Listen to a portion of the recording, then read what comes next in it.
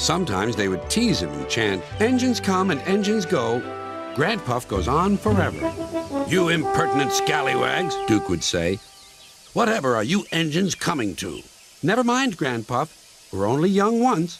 Well, you'd better mind, unless you want to end up like Smudger. Oh, Granpuff, whatever happened? Smudger, said Duke, was a show-off. He rode roughly and often came off the rails.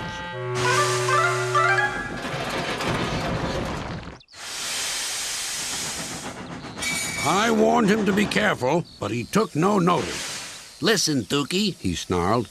Who worries about a few spills? We do here, I said, but Smudger just laughed.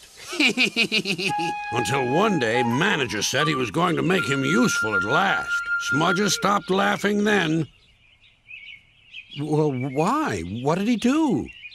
He turned him into a generator. He's still out there behind our shed.